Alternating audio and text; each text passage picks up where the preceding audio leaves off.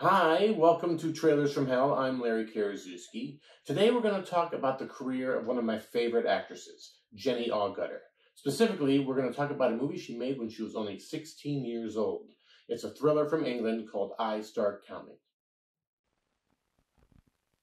Jenny Agutter shows up in motion pictures fully formed. She's just a natural. No hint of artifice about her.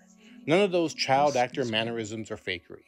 She had no formal training as an actress. She was studying ballet and only looked initially at acting as a diversion. Maybe that's what made her so comfortable and real. The film industry instantly recognized how special she was. She's only 16 here, but has already worked with huge directors like Andrzej Wajda and Robert Wise. Agutter carries this whole movie on her shoulders. There's not a scene she doesn't run. I Start Counting is an unusual film. This trailer really plays up the thriller angle. And yes, there's a serial killer plot, but the horror element doesn't really control the narrative. It's basically a coming of age story of a girl trying to figure out all her strange new urges. It's impeccably directed by David Greene. He captures the tone shifts and mood swings. This would have been an easy movie to mess up. Greene goes on to do lots of quality TV. His best known film is probably the misbegotten movie version of the musical Godspell. But even that film has a stunning Twin Towers dance sequence.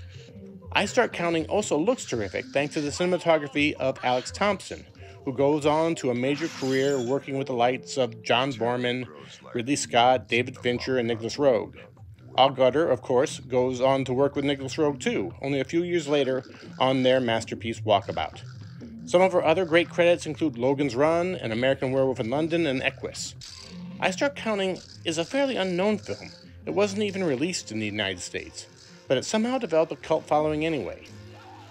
Finally, a few years back, a Blu ray came out here on the smartly curated label Fun City. I recommend that you grab it.